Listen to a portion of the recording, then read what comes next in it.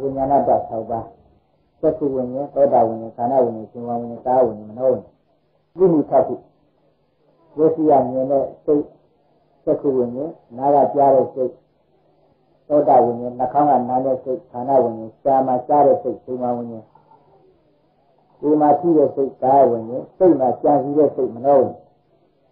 အဲဒီ6ပါးတဲ့တရားဒါတရားရပြရတဲ့ဝိညာဉ်နဲ့ရက်ခဝိညာဉ်ကြီးတဲ့ဘလူး ရက်တဲ့ဥပမာတူတယ်တတ္တဝါအများကိုအမျိုးကြီးလုံးယူတတ်တယ်လိမ်မှုလိမ်ပြီးတော့ပြပြီးတော့ဒါရတဲ့ဒီဝိညာဉ်နဲ့တက်ဆောက်ရဘူးဘယ်ချိန်တည်းခါဖြစ်တယ်လို့ဒီလိုမေးတရားရအာရဏ7ပါးလည်းနားရပါကြီး၎င်းပြင်ဓာတ်တစ်စစ်7ပါးလည်းနားရပါကြီးဆိုတဲ့အနေအချင်းဒီကြားထဲမှာအာရဏလည်းပြပြီးဖြစ်ဓာတ်တစ်စစ်7ပါးလည်းပြပြီးဖြစ်ဆိုတဲ့အတိုင်းဒါအာရဏ7ပါးဆိုတဲ့တရားတစ်ခါမဟုတ်ဘူး သက္ခုတ္တကဏ္ဍကြီးကကာယမနဆိုတဲ့မိမိတို့ဣဇဒကဏ္ဍအမှားကြီးဖြစ်ပေါ်နေတော့အခန္ဓာ6ပါးသက္ခုပဒါရ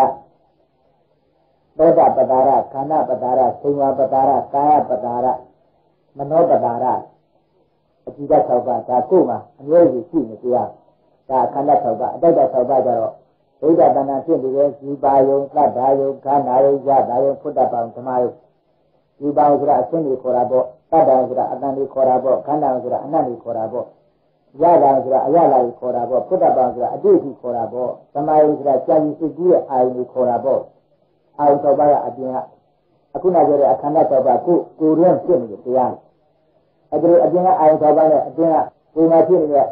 ၆ပါးနဲ့ပေါင်းလိုက်တော့၁၂ပါးပဲပြရတာအာရဏ၁၂ပါးဒီလိုဆိုရှင်းတော့လို့ရှင်းပါလေဆရာ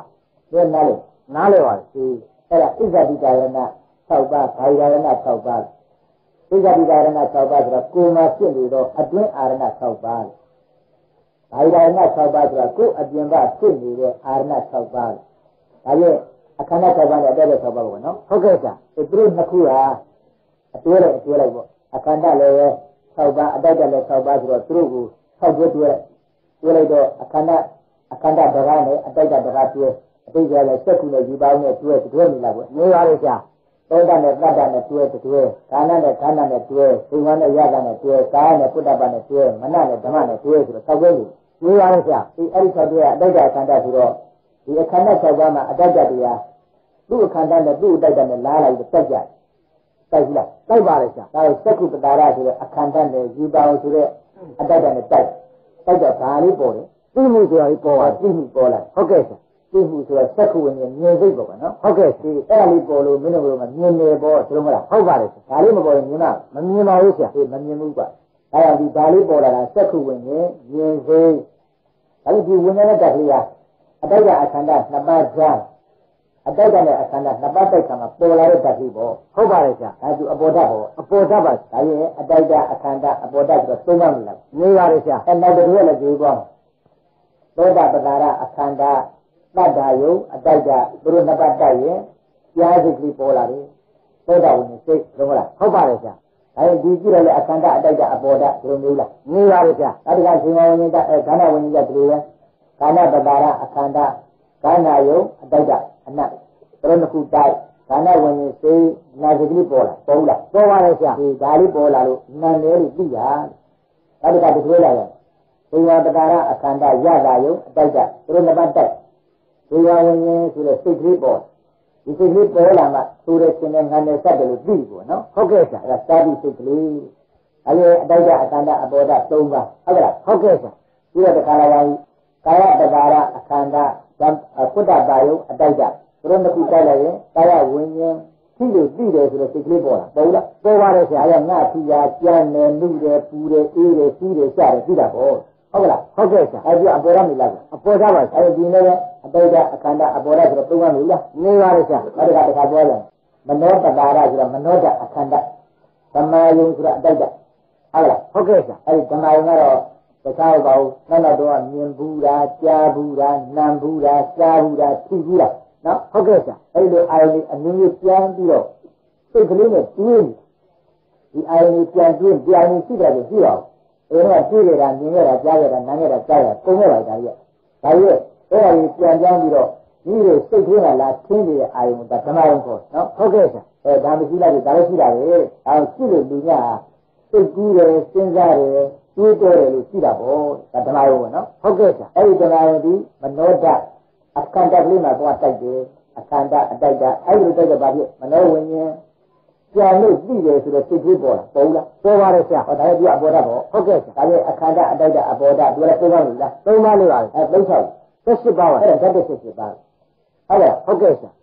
သက်ရှိပါတဲ့တရားဒီဘယ်မှာဖြစ်တယ်ဆိုမင်းတို့ရဲ့ဣဇဒတနာအစင်းအမြဲဖြစ်နေတဲ့တရားဘယ်လိုလဲနေပါလေဆရာဒါကမျက်စိမျိုးကျုံးလဲပွင့်နေသင်္ကစားမြင်နေကြားနေနားနေစားနေသိတယ်သိတယ်ဒီချက်ကိုအလဲလျာဖြစ် အမြဲတည်းဖြစ်နေတဲ့တရားနော်ဟုတ်ကဲ့ဆရာဒီအဲ့ဒီချက်ကိုဝိညာဏတ၆ပါးလို့အလဲတ၆ပါးလို့တတ်ခေါ်အလဲတ၆ပါးလို့အမိကလိုက်တော့ဝိညာဏတ၆ပါးသိမလားဟုတ်ကဲ့ဆရာအတ္တ၆ပါးနဲ့အခန္ဓာ၆ပါးက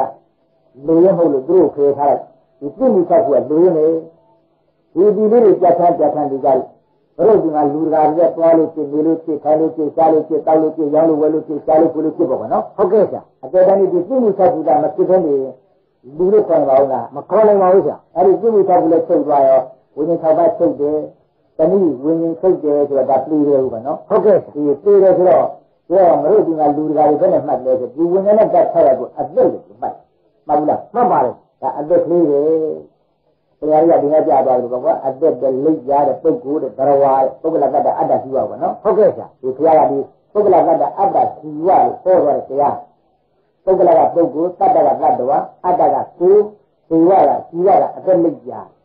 အဲ့ဒီတရားကြီးကတဏှာကြတဲ့သူသူငါငါတတ္တဝါအနန္တမှားကြနေမှားလာတဲ့တရားတဲ့ဒီတရားကိုယုံကြည်နေတဲ့ယုံကြည်တဲ့ကာလပတ်လုံးသားမိစ္ဆာတိကြည့်တာခေါ်ပါနော်ဟုတ်ကဲ့ဆရာဒီဒါကြောင့်ဒီယူဝါဒကြီးရှိနေတယ်ဒီယူဝါဒနဲ့အဲဆွဲနေတယ်ဒီယူဝါဒယုံကြည်နေတယ်ဆိုရင်ဒီပုဂ္ဂိုလ်ကဒါမိစ္ဆာတိအယူပဲအဲ့ဒီအယူနဲ့ပေလိုက်ဆိုမှအပေလေးကလုံးလုံးကြတယ်သူဟော မင်းကဘုရားလည်းမရနိုင်ဘူးဒါမက်ကန်တရေလို့မက်ကိုမရအောင်တားအန္တရာယ်နဲ့သူ့ပါတော့နော်ဟုတ်ကဲ့ဒါကြောင့်မင်းကဘုရားလူတဲ့ပုဂ္ဂိုလ်များဒီ၎င်းအယူဝါဒကြီးသူ့ပြောင်းအရင်လုပ်ပါအောင်ဒါကြီးသူ့ပြန်ပြန်ရှင်းကြမှာဒီဒီသူ့ပြန်မှလေကပူရကပူရပွင့်နေခေါ်ဒါမှမင်းကဘုရားလွယ်လင်းကိုရဟနေဒီယူကြီးမမရှင်းရမရှင်းကြမြအယူမှမရောက်ကြဘယ်တော့မှမင်းနဲ့ဘုရားမရနော်ဟုတ်ကဲ့အဲ့ဒီမိဂရီအကြီးကတော့ဆွေးယူပါနော်ဟုတ်ပါတယ်ဒီအဲ့ဒါတည်းမှာအခုမြတ်စွာဘုရားကိုရဏကောင်းပါပြီ အာရဏဆနပါဟောလိုက်တယ်တတ္တဝါများအထင်အမြင်လွဲမှားတာဒီပေချသွားအောင်ဆိုတဲ့အနေအချင်းအခန္ဓာ၆ပါးနဲ့အတိတ်၆ပါးအဲ့ဒီတစ်ဆက်နှစ်ပါးသောတရားကိုအာရဏဆိုတဲ့အနေအချင်းဟောလိုက်တယ်အဲကောင်းပါပြီအာရဏဆနပါနဲ့ဟောပြီးကြီးပါရောလားဒါကြောင့်အလေသားကအပေါ်တက်၆ပါးထည့်ထည့်ပြီးတော့တတ္တစစ်စစ်ပါဆိုတဲ့တရားထားဖို့လေသူတို့လာကြလို့နော်ဟုတ်ကဲ့အဲ့ဒါကြတော့တတ္တစစ်စစ်ပါတရားဟောတာတခြားမပါဘူးတဲ့အခန္ဓာ၆ပါးနဲ့အတ္တ၆ပါးကြီးပဲ သခန်းတော်နေတယ်သူကြထားတယ်မှတ်ချင်မှတ်မယ်ဒါပေဒီအခန္ဓာ၆ပါးနဲ့အတ္တ၆ပါးဆိုအာရဏဆနပါတရားလည်းသံဃာချက်တင်တတ်တဲ့တရားဒီလိုကောင်းတဲ့တရားမဟုတ်ဘူးဒါကြည့်လို့ဒီအခန္ဓာဆိုတဲ့သက္ကုပ္ပဒါရနဲ့ယူပါရင်ဆိုတဲ့အတ္တတစ်ပါးလာတိုက်တာဘူးပဲအဲ့ဒါငါမြင်နေဘူးကနော်ဟုတ်ကဲ့ဒါလည်းငါရဲနေအဲ့ဒါငါရဲရှိလို့ရှိရင်ကောင်းပါပြီနမူနာပုံစံလေးတစ်ခုကြည့်ပါအတိတ်အခန္ဓာနှစ်ပါးတွေ့ထားတဲ့ပထမဒုတိယကြမှာသက္ကုပ္ပဒါရကအခန္ဓာယူပါရင်အတိတ်သက္ကုပ္ပဒါရကကံကြတတ်မှာ တကယ်အတွင်းမှာရှိတဲ့အစီရုပ်ကလေးအယူပါရင်ဆိုတာမြင်ကောင်းတဲ့ရုပ်တွေအသူတို့ကလာပြီးတော့အယုတ်ရှင်နဲ့တိုက်တယ်ဆိုတော့ဒါငါမြင်တယ်ပြောဒီစားကြည့်ကြမှာလည်းတတ်တော်များတာငါမြင်တယ်လို့ပြောတာငါမြင်တဲ့သူမြင်တဲ့ပုဂ္ဂိုလ်မြင်တဲ့သရဝမြင်တဲ့ယောက်ျားမိန်းမမြင်တဲ့အကောင်တွေနဲ့ကြည့်တဲ့အဲ့ဒါသေချာရှာပြီးတော့ငါမြင်တယ်ပြောအောင်သက္ကုပ္ပဒါရဆိုတဲ့အခန်းတက်ကလေးထဲမှာငါရှိတာကငါရှိနော်ဟုတ်ကဲ့ဆရာဟိုလမ်းတိုက်တဲ့ယူပါဆိုတဲ့မြင်ကောင်းတယ်ဆိုတဲ့အဆင့်ကိုငါရှိတာဟိုလည်းငါရှိ ရှိရမရှိတော့ဘူးအဲ့ဒါကိုကိုယ်နဲ့ရှင်းပြလို့တယ်ဒါကြောင့်ဩဣဇဒတနာအမှန်ဖြစ်နေတဲ့ဣဇတိကယရဏခေါ်ထားတယ်ဆက်ပါတော့အာရဏတရားလည်းငါလိုက်ကြပြီငါမရှိဒါနဲ့လာလာတိုက်တဲ့ဆိုတော့အာယသဘာတိတော့ဘာယရဏ၆ပါးလည်းငါလိုက်ကြပြီငါမရှိကြည့်မရှိအောင်သူတို့တဘောသူတို့သဘောတည်းဖြစ်နေတဲ့တရားတွေပါလားအခန္ဓာကလည်းအကြည့်ရုပ်၆ပါးကြီးရတယ်ကြီးနေတယ်ကြီးနေလည်းပြည့်ရုပ်ရှင်တတ်တာပေါ့အယုတ်ကလည်းအကြည့်လာရှိရင်ရှင်းတတ်တယ် မှန်တဲ့သူအယုတ်ကိုကြည့်ပါနော်ဟုတ်ကဲ့ဆရာဒီလိုနားရရတယ်တဲ့ငါမြင်တယ်ငါကြားတယ်ငါနာတယ်ငါကြားတယ်ငါကြည့်တယ်ငါကြည့်တယ်လို့မဆွေးလမ်းပါနဲ့တဲ့မဟုတ်ပါဘူးအခန္ဓာတစ်ပါးလည်းငါကြားကြည့်မရှိအတိတ်တစ်ပါးလည်းငါကြားကြည့်မရှိနော်ဟုတ်ကဲ့ဆရာကောင်းပါပြီလားရဲ့ဒီအခန္ဓာတစ်ပါးနဲ့အတိတ်တစ်ပါးဆိုတဲ့တစ်ဆက်နှစ်ပါးတော့အာရဏဟောရင်မပြီးဘူးလားဆိုတော့မဟုတ်ဘူးတတ္တဝါများတန်တန်ကြီးဆွဲတဲ့အဆွဲတစ်ခုရှိဘယ်နေရာတော့အခုကျတဲ့အခါနဲ့၆က အတိုက်တိုက်၆ကသူတို့ချင်းသူတို့ချင်းတိုက်တဲ့အခါမှာအလေကပေါ်လာတော့သူ့မှု၆ခုဟုတ်လားဟုတ်ကဲ့ဗျအလေကပေါ်လာတဲ့လန်ဒိန်းနဲ့ကြောက်ကလေးလေးသူတို့ချင်းတွေတော့ဘာကြည့်သူတို့ချင်းပြန်ပြီးပြီးပွင့်ပွင့်ဘူးလားပွင့်ပါလေအေးဒီလိုပွင့်လာတဲ့ဆိုတော့မီးလေးနဲ့တမူတူတော့လူလူလေးစက်ကူလာတဲ့ယူပါရင်တိုက်တက်လိုက်တာပြစက်ကူညစိတ်ဒီကလေးပေါ်လာပေါ်လာပေါ်လာတဲ့ဆိုတော့ဒီတော့မြင်နေဒီကမြင်နေဘူးကွာနော်ဟုတ်ကဲ့ဆရာအဲ့တော့ဒီဒီမြင်မှုလေးတွေပဲဒါဝိညာဏကခေါ်ပါရဲ့ အဲ့ဒီဝိညာဏကဘယ်နှမရှိလဲဆိုတော့အာဒီမျက်စိနဲ့မြင်တဲ့စက်ကူဝိညာဉ်နားနဲ့ကြားတဲ့သောတာဝိညာဉ်နာကောင်းတဲ့နာနဲ့ခန္ဓာဝိညာဉ်ကြားနဲ့ကြားတဲ့စေဝဝိညာဉ်ကိုယ်နဲ့ခုဒါဝိညာဉ်စိတ်နဲ့ကြားစီတယ်မနော်ဝိညာဉ်သာအလယ်ကနေနေတဲ့တခေါနဲ့ပေါ်ပေါ်လာပေါ်တာပြီနော်ဟုတ်ကဲ့ဆရာအဲ့ဒီဝိညာဉ်နဲ့တက်ဆက်ရကြတာကပို့ပြီးတော့အကျွေးတာဝိညာဉ်နာလေလောကနမုတ်ထားတာကဝိညာဉ်စိတ်ရင်ပြေတယ်လို့သမုတ်တော့ဝိညာဉ်ရှိရင် အသက်ရှင်သေးတယ်ဆိုတော့ဝိညာဉ်အသက်မှတ်တယ်ဟုတ်ပြီလားမှတ်ပါလေအေးဝိညာဉ်အသက်မှတ်တယ်ဒါဝိညာဉ်စိတ်ရင်ပြေတယ်ဝိညာဉ်မစိတ်ရင်မပြေဘူးအဲ့ဒီလိုဝိညာဉ်နဲ့တက်ဆက်ရပေါ်မှာအမြဲတည်းအကျွေးနားနေကြတဲ့အာရုံနဲ့ပညာနဲ့ရှိမရှိကြတဲ့အတ္တပုတ္တိကသရဝါများအတွက်ကိုရမြတ်ကငဲ့ပြပြီးတော့ရှင်းပြီးတော့ရှင်းပါစေဆိုတော့စေနာပြတ်ထမ်းပြီးတော့တစ်ဆက်စစ်တာနဲ့တရားကိုထပ်မှပြီးပြောပါလေနော်ဟုတ်ကဲ့ဆရာစစ်စစ်တာလေ အခါရတဓာတိရောလို့ကျန်တာမှာတတ်အာရဏနဲ့ပြရင်တစ်ဆက်နှစ်ပါးအပြင်ကအပိုလိုမရှိတတ်တယ်ပြရင်တစ်ဆက်စစ်ပါးအပြင်ကအပိုလိုမရှိဘူးနော်ဟုတ်ကဲ့ဆရာဒီကတော့ဒီတတ်တစ်ဆက်စစ်ပါးတရားဆိုတာအခုလေကြားရညှပ်ပြီးတော့တွန့်ပြီးကြရန်တော့လည်းပဲအဲပြည့်စလာပြည့်နေကြပါလေဒါကြီးဒီခန္ဓာငါးပါးပြနေတဲ့အထိုက်အတန်မှာဖြင့်ပြည့်ဝင်နေတဲ့တရားတွေဖြစ်တဲ့ဘုန်းကြီးအများကြီးဆက်ပြီးကြလိုက်လည်းလေလုံးကလည်းဒါကြီးနိုင်ပါရဲ့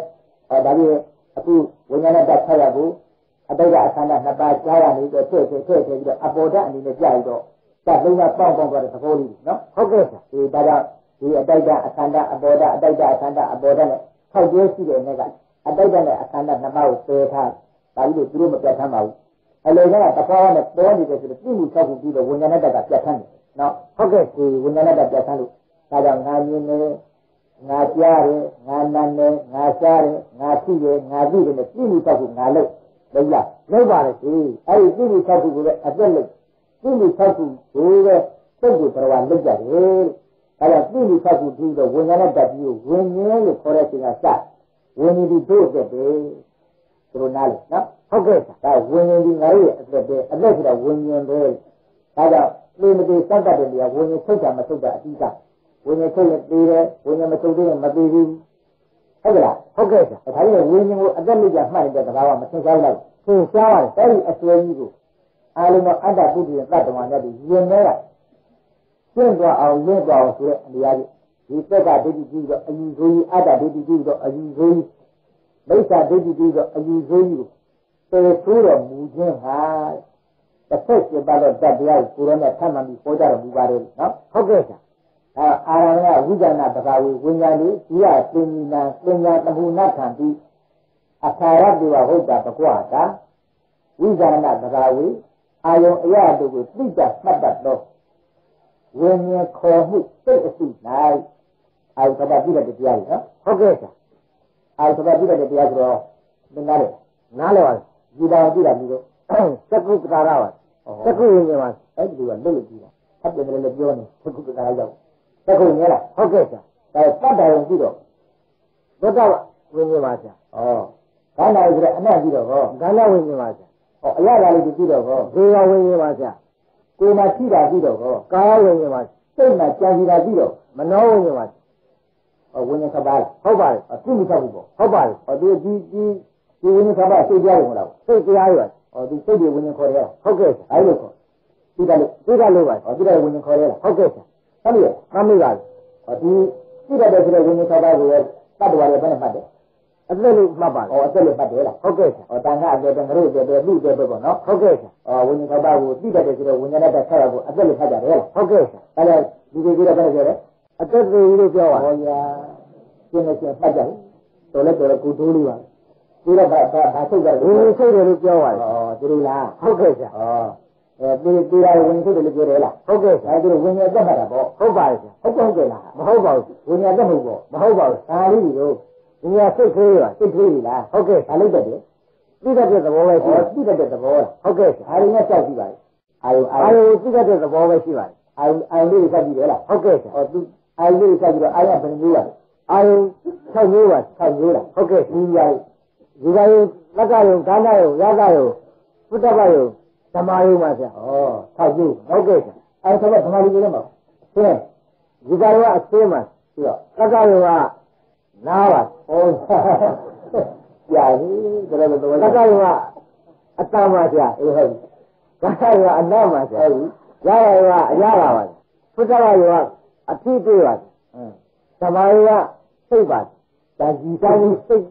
ကူးလာပါအေးဟုတ်ဆက်ရလားမှတ်မိပါဟောဒီအာယတပတ်ကိုပြည့်တဲ့စိတ်ကလေးတွေလားဟုတ်ကဲ့ဆရာဟောသူတို့ဒီစိတ်ကလေးတွေကိုစိတ်လို့မခေါ်ဘဲနဲ့ဝင်ငင်းလို့ခေါ်တာဘာလို့လို့ပါဒီလားဒီကယုဝင်ဝင်လို့ခေါ်ပါတယ်ဟုတ်ရဲ့လားမှတ်မိပါဆရာဒါတွေပြည့်တာပါလေအာယုသိကလို့ပါဟောအာယကဘယ်နှပါးရှိပါလဲ6ပါးရှိပါတယ်ကျန်ကြတာမှာ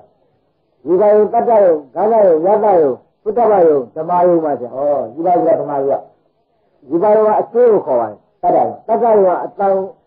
အတောင်ကိုခေါ်ပါတယ် တတ်တယ်ဂါဏယုကအနောက်ကိုခေါ်ပါတယ်ဆရာရရတယ်မှာရတယုကအရာတော်ကိုခေါ်ပါတယ်ဆရာပြတ်တာပါပုတ္တပယုကအထိတွေ့ကိုခေါ်ပါတယ်ဆရာတခါရောဓမ္မယုကစံစိတ်ကူးတော်ကိုခေါ်ပါတဟုယ်တ်တတ်ပါဘူးသူပြတဲ့တကအထီးကြီးအတူအထီးပြောနေကြအထီးကြီးတကယ်ကမှလို့ကမင်းကိုစာခလိမ့်တယ်ဆိုတော့လည်းအတူကြီးမဟုတ်လားဟုတ်ပါတယ်ဆဒါရာအထီးကြီးလို့မင်းပြောတယ်ဟုတ်ပြီလားမှတ်မိပါဆရာဒီအာသာတော့သူကပြည့်တယ်လားဟုတ်ပါတယ်ဆဟောရာစိတ်အမှားတဲ့စိတ်ကြားတွေပေါ့စိတ်တရားတွေပါအဲ့ဒီဝิญဉ်ကိုအာယုအရတို့သိတဲ့မှတ်တဲ့ဝิญဉ်ကို အသက်လို့မှတ်ကြတယ်ဘယ်လိုမလားဟုတ်ပါတယ်ဆရာဒါဝိဇာဏသဘာဝေအာယုအရတို့ကိုသိတဲ့မှတ်တတ်သောဝิญဉ်ခေါ်မှုစိတ်အစု၌ဘယ်လိုမလားဟုတ်ကဲ့ဆရာဒီရသင်္နီနာငါအသက်ဒီမပြည့်ဧကအမှန်ရှိ၍ဒီအာယုသဘောကိုသိတတ်တယ်ဆိုတော့ဝิญဉ်လေးကငါအသက်ပဲဘယ်လိုမလားဟုတ်ပါတယ်ဆရာဒီကသင်္နီနာငါအသက်ဒီမပြည့်ဧကအမှန်ရှိ၍ပညာတမှုနဲ့ခံပြီး တမှားရမှားရင်တွေတော့အယူမှားရင်ပယ်ရှားတော်မူခြင်းအကျိုးဟာဒီအယူမှားကြီးပယ်ရှားတယ်ပယ်ရှားတယ်ပယ်ရှားတဲ့မူလို့ရဲ့အဒီပေါ့နော်ဟုတ်ကဲ့ဆရာအယူမှားတွေလားမှားပါတယ်အေးဒါကပညာတမှုနဲ့ခံပြီးတမှားရမှားရင်တွေတော့အယူမှားကြီးတွေကိုပယ်ရှားတော်မူခြင်းအကျိုးဟာဘဂဝတာမြတ်စွာဘုရားရှင်ကိုရောမြတ်ဒီအခါရတေဝတစ်ဖက်จิตတဓာတ်တရားတို့ကိုသာလဲဟုတ်တာဟောကြတော့မြတ်ကုန်ဒီကဘုရားရောမြတ်ဒီတတိစိတ်ပါထပ်ပြီးတော့ ဒေသနာနည်းအနေအားဖြင့်တနည်းထုတ်ပြီးတော့ဟောတာဘာလို့ဆိုလဲမေးတော့ဟောရတာတော့ဟောတဲ့တတ်တော်များဒီပြည့်မှု၆ခုဆိုတဲ့အတိတ်အခန္ဓာနှစ်ပါးတိုင်လိုက်အလေကကပြည့်မှုလေးပေါ်လာလိုက်ဒါဝင်စိတ်အတိတ်အခန္ဓာနှစ်ပါးတိုင်လိုက်အလေကကပြည့်မှုလေးပေါ်လာလိုက်အဲ့ဒီလိုပြည့်မှုလေးပေါ်ပေါ်လာတယ်ဆိုတော့ဘယ်နှမျိုးရှိလဲဆိုအာယုံက၆ပါးရှိတော့ပြည့်မှု၆ခုပဲအဲ့ဒီပြည့်မှု၆ခုကတတိတဲ့မိမိရဲ့ဣဇဒာကနဲ့အမှားချင်းမျက်စိရပြီးနားရပြီးနှာခေါင်းရပြီးကြားရပြီးကိုယ်ရပြီးစိတ်ရပြီး အငဲတကြီးသိသိနေတယ်ဆိုတော့သိမှုဆောက်ဖို့အစွဲကဘယ်လိုနာလဲဆိုတော့အာဒီသိမှုဆောက်ဖို့ပြီးတော့ဝဉာဏတရားကြီးဟာအသက်ဆိုတာဒါပဲဘယ်လိုမှဟုတ်ကဲ့အသက်ဆိုတာဒါပဲဒီကဏ္ဍတာအသက်ပဲအဲ့ဒါဒီဝဉာဏဆောက်ဖို့ဆိုတဲ့တရားကြီးဟာငါအသက်ဟာအငဲဧကအမှန်ရှိတယ်လို့ယုံကြည်ထားတဲ့အယူဝါဒအန္တပုဒ်ဆိုတဲ့သတ္တဝါများဒီတိုင်းရှိကြတယ်ရှိလားရှိပါတယ်ဒီဒါကခုနပြောတဲ့ သေတာဝိညာဉ်ထုတ်တယ်ခေါ်တယ်ဝိညာဉ်မထုတ်သေးမတည်သေးဘူးလို့ပြောတာနော်ဟုတ်ကဲ့ဆရာဒါကြည့်ဒီဝိညာဉ်နဲ့တ၆ပါးကိုပဲအသက်လို့ဆွဲနေထားတဲ့အယူဟာမှန်လားမှားတယ်ဘယ်နဲ့တော့မှားပါတယ်ဒီမှန်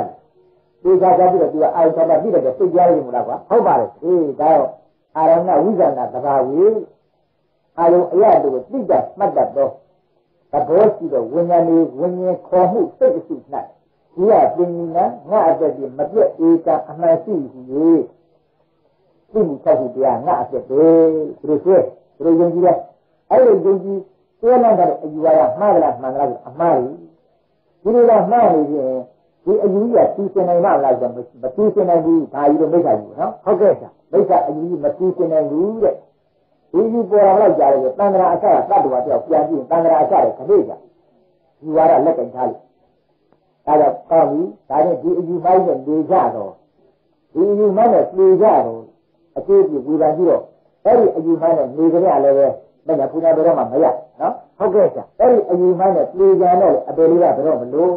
စိတ်တော်မရသေးလားမရပါဘူးဆိုမရရင်လက်တော့ကိုရမြတ်ကတတ်တော်များအမှန်တရားနာတော်မူပါတဲ့ဖြင့်ဒေသနာပရိယာနိအလျာဖြင့်ဒေသနာမှာတတိ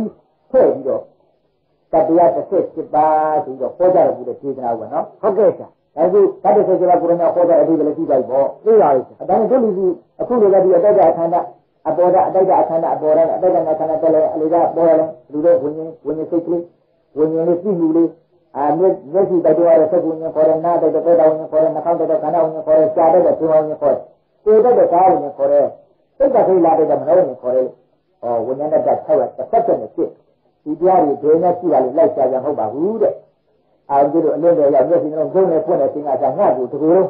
အလဲအလဲအတရားရဲ့ဘယမနဲ့တခွားဖြစ်တဲ့တရားတွေကတရားတွေကလည်းဒီလိုက်လားသင်ရှားပါလေဒီကလေးကလေးကြီးလားမနေရဘူးဆရာအဲဖြစ်တဲ့တရားလေဒီတရားတွေရှိတယ်လို့ဟိုလိုက်ကြဒီလိုက်ကြဟိုစုံစမ်းဒီထောက်လန်းနဲ့မေးကြမလို့ပါဘူးတဲ့ပုဂ္ဂိုလ်ကိုအများကြီးဖြစ်နေတဲ့ပြည့်မှုထောက်ဖို့တဲ့တရားကြီးနော်ဟုတ်ကဲ့ဆရာဒီ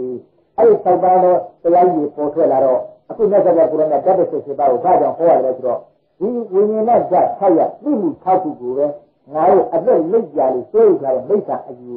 ပေထောက်စီခြင်းအကျိုးငါဟောကြရမှုလေလို့ဆိုတော့အတင်ကတစ်ဆင့်ခါပြီးရှင်းပြီးတယ်ဒီကကြည်ကံဒါအသက်လားလိပ်ကြလားလို့ဒီလိုအသက်ဝင်ရင်လားလိပ်ကြလားပြေချာပြီးတော့အသက်လည်းမဟုတ်လိပ်ကြလည်းမဟုတ်ပါဘူးလို့သိရပါသိပါလေ။ဩအတိုက်တာဆန်းတဲ့နှစ်ပတ်တိုက်ခံမှပွားနေပွားနေတဲ့အလေကပေါ်လာတဲ့အပေါ်တက်ပြီနော်ဟုတ်ကဲ့ဆရာ။ဒါကြောင့်ဒါကြပြပြတော့တဲ့သဘာဝကစီးတဲ့လက်ကနဲ့ဥမာပြ။ဩစီးတဲ့လက်ကရှင်းချတာအတန်ပေါ်ဘူး။ ဒါလို့လက်နဲ့စီးနေပြင်ခတ်လိုက်တဲ့ကြီးလိုက်တဲ့အခါကျတော့အတန်ထွက်သုံးလားဟုတ်ပါလေ။အဲ့ဒီအတန်စီးရဲ့လက်ခတ်တဲ့အတန်ရဲ့30ပေါ်ဘူး။ဒါတဲ့စိတ်ကဖြစ်ကုန်တဲ့။ဒီတော့စီးနေလာခြင်းနဲ့ဘာနဲ့တူလဲဆိုတော့ခုစက်စုပတာရဆိုအခါတည်းနော်ဟုတ်ကဲ့ဆရာလက်ခတ်နဲ့ဘာနဲ့အတူလဲဆိုတော့ယူပေါင်းနဲ့တူတယ်အတိုက်တိုက်တယ်နော်ဟုတ်ကဲ့ဆရာအဲသူတို့ကတက်တဲ့ခါကျအလေကဖြစ်လာတဲ့အတ္တန်တက်ခင်းနဲ့နဲ့ပြောဆိုတော့စက္ခုဝင်မြင်စိတ်နဲ့မတူလားသိပါလေဆရာအဲစက္ခုပတာရရဲ့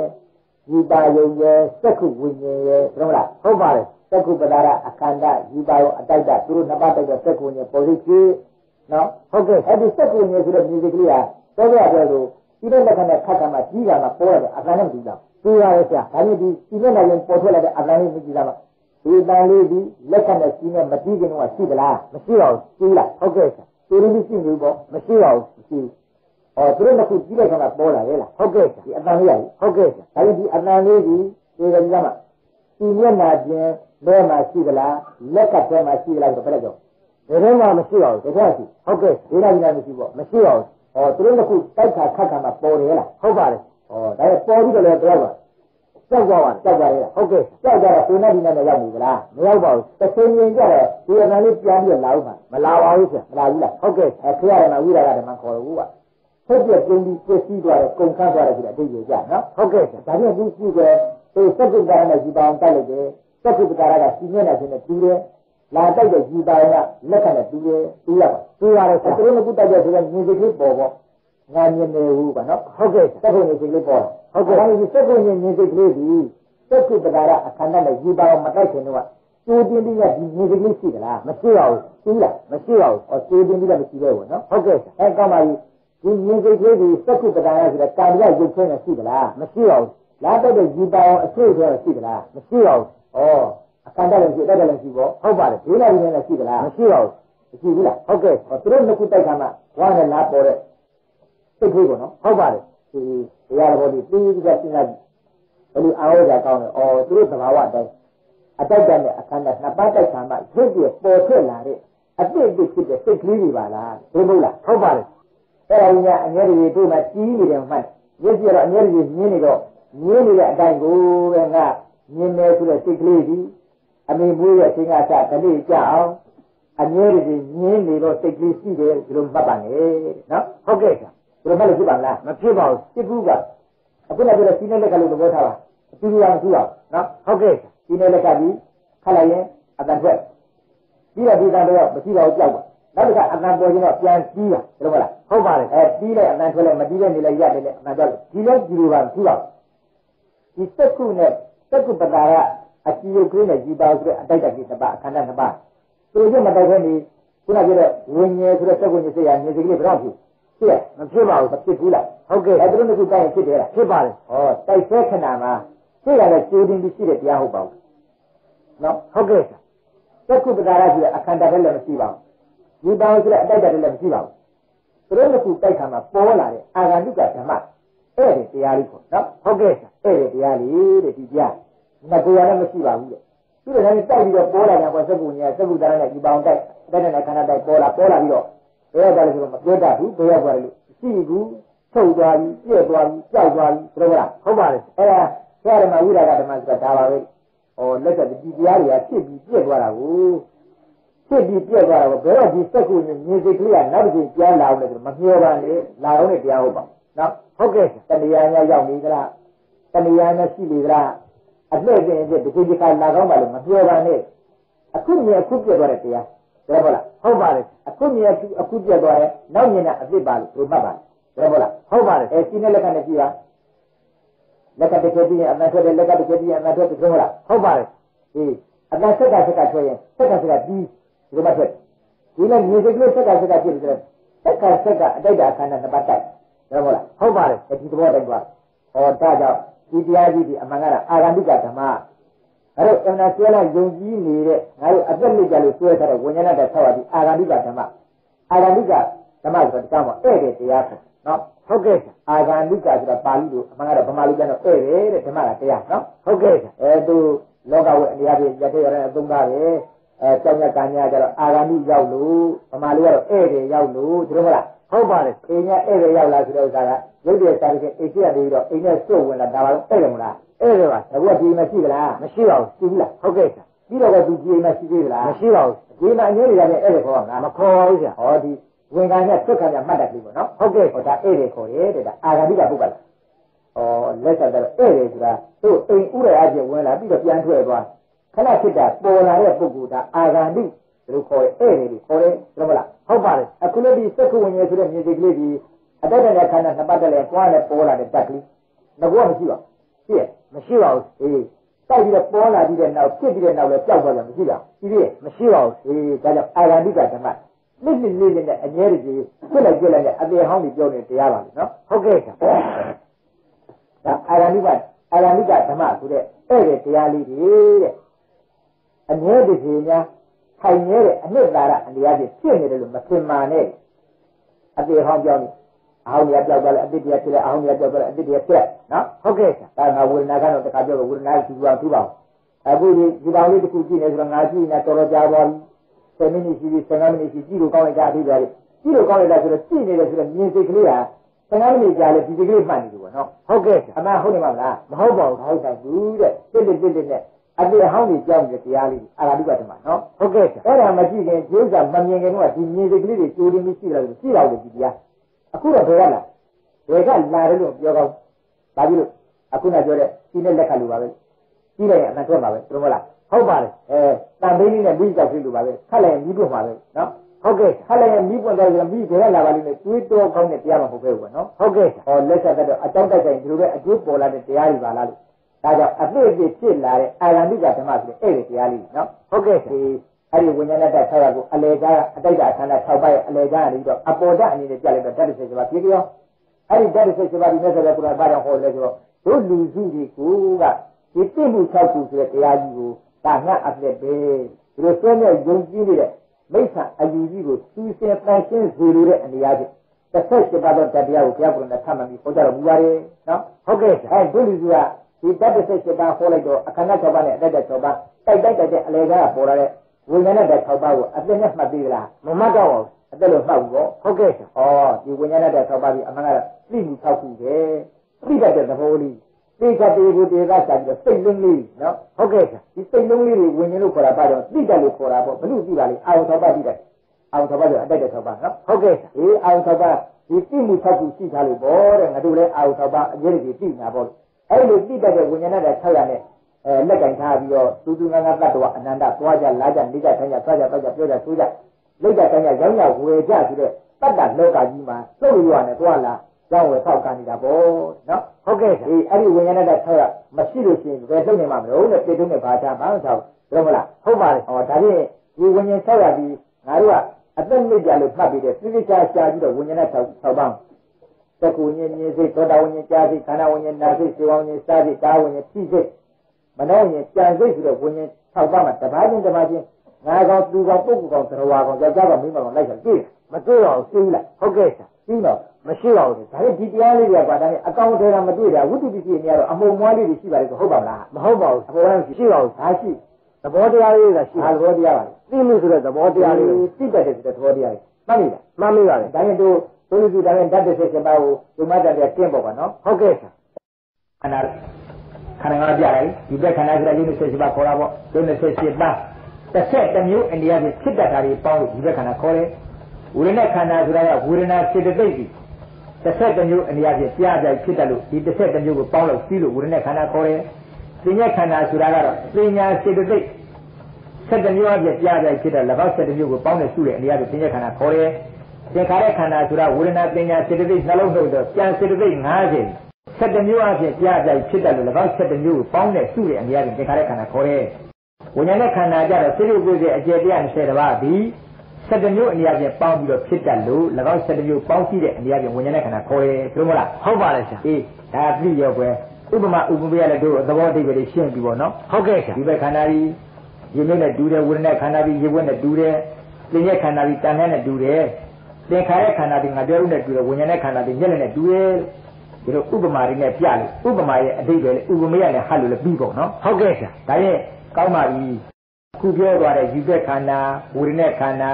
သင်္ညက်ခန္ဓာသင်္ခါရခန္ဓာဝိညာဉ်နဲ့ခန္ဓာဆိုတဲ့ခန္ဓာ၅ပါးအေကိုတွေနဲ့ကောက်သွားပါပြီမှတ်မိမှတ်မိပါတယ်ဒီဘက်ခန္ဓာဘယ်လိုကောက်ပါလဲရုပ်28ပေါင်းကိုကောက်ပါတယ်ဟုတ်ပြီဝိညာဉ်နဲ့ခန္ဓာဝေလာစေသိက်ကိုကောက်ပါတယ်သင်္ညက်ခန္ဓာ သင်ညာစေသိက်ကိုကောက်ပါတယ်သင်္ခါရခန္ဓာဝေလာသင်ညာကကျွတော့စေသိက်90ကိုကောက်ပါတယ်ဝိညာဉ်နဲ့ခန္ဓာဝေလာစိတ်တစ်ခုကို90အကျ120ပေါင်းကိုကောက်ပါတယ်အေးဟုတ်ပြီမှတ်ပြီနော်ဟုတ်ကဲ့ဆရာဒါရဲ့ဥပမာဥပမာလည်းနားလည်ပြီးတော့တေကိုတေလာကောက်တတ်ပြီပေါ့ကောက်တတ်ပါတအဲယ်သူ့သဘောအတိတ်တွေလေးကဘယ်လိုလဲလို့ပြီးတော့ယူဘက်ခန္ဓာဘာညာလုတ်တတ်တဲ့တတ်ပြီးရှိတယ်ဒီလိုမင်းယူဘက်ခန္ဓာဆိုတာရုပ်တရားဆိုတော့ဘာမှမသိတတ်ဘူးတဲ့ဖောက်ပြန်တဲ့သဘောရှိတယ်ဒါမှမလားဟုတ်ပါတယ်ဆရာဒါယူဘက်ခန္ဓာရဲ့သဘောပေါ့နော်ဟုတ်ပါတယ် တိုင်းကောင်းပါဝေဒနာခန္ဓာဘာလို့တက်လဲဝေဒနာခန္ဓာကတော့သောကတို့ပြလာတဲ့အာယုံ6ပါးရဲ့အရသာလေးတွေခံစားတတ်တယ်ဒါမှမလားဟုတ်ပါတယ်ဆရာဩ6ပါးတော့အာယုတွေတို့ကအမြဲတည်းသိအမြဲတည်းသိတိုင်းသိတိုင်းဒီဝေဒနာခန္ဓာခေါ်တဲ့ဝေဒနာစေတသိက်ကတို့သိတယ်ဆိုရင်အာယု6ပါးရဲ့အရသာလေးခံစားတတ်တယ်ဒါမှမလားဟုတ်ပါတယ်ဆရာဒီပါယုအရသာခံစားလိုက် တတ္တာယုအရသာခံစားလိုက်ခန္ဓာယုအရသာခံစားလိုက်ရတာယုအရသာခံစားလိုက်ဖုဒ္ဓပါယုအရသာခံစားလိုက်ဓမ္မယုအရသာခံစားလိုက်ဒါမှမလားဟုတ်ပါတယ်ဆရာဩ6ပါးသောအာယုအရသာလေးတွေခံစားတတ်တဲ့သဘောဒီဝေဒနာခန္ဓာကောင်းပါပြီပညာခန္ဓာဘာလို့တဲ့ပညာခန္ဓာအဲ့ဒီ6ပါးသောအာယုကိုပဲ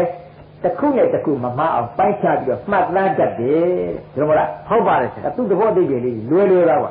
ပြီးတော့ငါတစ်ခါပြန်ပြောပါဦးမယ်ခန္ဓာ၅ခုပေါင်းစုကာမှတို့အလုပ်တစ်ခုဖြစ်တယ်ဆိုတဲ့သဘောလေးဒီပေါ့နော်ဟုတ်ကဲ့ဆရာအဲပညာခန္ဓာက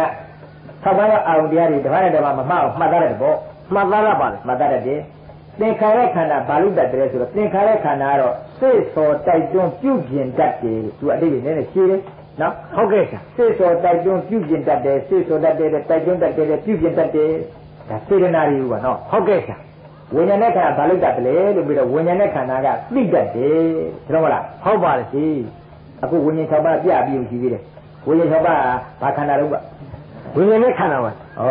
ဝိညာဉ်၆ပါးဝိညာဉ်နဲ့ခန္ဓာ ဟုတ်ကဲ့ဆရာ စိတ်တွေစိတ်ကြရတယ်မဟုတ်လား စိတ်တရားတွေပါဆရာ တနည်းကပြောပြီးပြီပါကြာတယ်ခုသူကြောက်တော့တခေးနဲ့ဝိညာဉ်နဲ့ခန္ဓာဟိုစိတ်စိတ်တရားတွေဝိညာဉ်နဲ့ခန္ဓာခေါ်ရဲလား ဟုတ်ကဲ့ဆရာ ဝိညာဉ်နဲ့၆ပါးနော် ဟုတ်ကဲ့ဆရာ မှတ်မိရလား မှတ်မိပါတယ် ဟော तू ကတော့သိတတ်တယ်လား သိတတ်ပါတယ် အဲ့ဒီသူ့သဘောလေးတွေ तू သူ့အတိတ်တွေ तू ကြည်သားကွယ်ဒီဘက်ခန္ဓာဘာမှမသိတာဖောက်ပြန်တတ်ပြီဒါသူကတတ်ပြီပေါ့နော် ဟုတ်ကဲ့ဆရာ ဝေဒနာခန္ဓာကအာရုံ6ပါးရဲ့အရာဓာတ်တွေခံစားတတ်ပြီမှတ်မိရ မှတ်မိပါ တယ်သင်္ညက်ခန္ဓာကအာရုံ6ပါးကိုတစ်ပါးနဲ့တစ်ပါးမမှားအောင်ပိုက်ချမှတ်သားတတ်ပြီဒါတော့မလားဟုတ်ကဲ့ဆရာသင်္ခါရခန္ဓာစိတ်စောတိုက်တွန်းပြုပြင်တတ်ပြီဝိညာဉ်နဲ့ခန္ဓာကအာရုံ6ပါးကိုသိတတ်ပြီဒါမလားဟုတ်ပါတယ်ဝိသတဲ့တိုင်လေးတွေသိထားတဲ့ဒါသူတို့ရဲ့မကျင့်မကျက်အဓိပ္ပာယ်လေးတွေပဲ။အော်ခန္ဓာ၅ခုပေါင်းစုပြီးဖြစ်နေတော့တို့လည်းပဲပြန်ကြည့်လိုက်ရင်ဘာရှိလဲဆိုခန္ဓာ၅ပါးရှိဘာမှရှိနော်ဟုတ်ကဲ့ဆရာဒါကိုယ့်ကိုယ်ကိုပြန်ကြည့်ရင်ငါတို့ကမှအများကြီးဖြစ်နေတဲ့တရားကြီးဘယ်နှပါးရှိတယ်လဲခန္ဓာ၅ပါးပဲရှိ တယ်ဟုတ်လားဟုတ်ပါတယ်ဒါခန္ဓာလည်းရှိအာရဏကြည့်ရင်အာရဏ7ပါးပဲရှိဓာတ်နဲ့ကြည့်ရင်ဓာတ်17ပါးရှိဟုတ်လားဟုတ်ကဲ့ဆရာဒီဒါကြောင့်ခန္ဓာနိအာရဏနိဓာတ်နိလို့ကိုရမြတ်ကဟောတာခန္ဓာနိသိလည်းပဲသိကြပြီးပါတယ်အာရဏနိသိလည်းသိကြပြီးပါတယ်ဓာတ်နိသိလည်းသိကြသိကြပြီးပါတယ်သူတို့ကနော်ဟုတ်ကဲ့ဆရာဒါကြောင့်ဒီမှာခန္ဓာ၅ပါးဟာဒီလိုကိုယ်မှာအမြဲတည်းဖြစ်နေသောတရား၅ပါးလို့ဆိုတော့ဖြစ်ပုံလေးပြသမှာဖြစ်ပုံလေး၅ပြဒီုံတစ်ခါလာပြန်ပြီ ဒါဖြင့်ဒုက္ကိုခန္ဓာကောင်ကြီးပဲခန္ဓာ၅ပါးကောင်ကြီးပဲခန္ဓာ၅ပါးတရားတွေအမြဲတည်းဖြစ်နေတယ်ဒီလိုပဲဟောပြီးပြောဒီလိုညာတယ်ဒါတို့ဖလက်ဖရတယ်တွေ့လက်တွေ့ရတယ်ဒီပြောနေတဲ့ခန္ဓာ၅ပါးငါတို့ကိုအမြဲတည်းဖြစ်နေတယ်ဆိုတာဒီခန္ဓာ၅ပါးဆိုတဲ့ခုပြသွားတဲ့အေကူတေသားနဲ့ပြသွားတဲ့ခန္ဓာ၅ပါးကြီးခေါင်းမှာဖြစ်သလားလက်မှာဖြစ်သလားကိုယ်မှာဖြစ်သလားခြေမှာဖြစ်သလား